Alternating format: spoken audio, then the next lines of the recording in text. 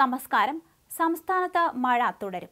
കോട്ടയം ആലപ്പുഴ എറണാകുളം തൃശൂർ മലപ്പുറം കോഴിക്കോട് കണ്ണൂർ കാസർഗോഡ് ജില്ലകളിൽ യെല്ലോ അലർട്ടാണ് കോട്ടയം ഇടുക്കി പത്തനംതിട്ട എറണാകുളം പാലക്കാട് ജില്ലകളിൽ ഒറ്റപ്പെട്ട ഇടങ്ങളിൽ ഇടിയോട് കൂടിയ മഴയ്ക്ക് സാധ്യതയുണ്ട്.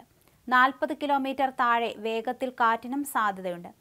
തീവ്ര ന്യൂനമർദ്ദത്തിന്റെയും ന്യൂനമർദ്ദ പാത്തിയുടെയും ഫലമായി കേരളത്തിൽ അടുത്ത ഏഴ് ദിവസമാണ് ശക്തമായ മഴയ്ക്കുള്ള സാധ്യത.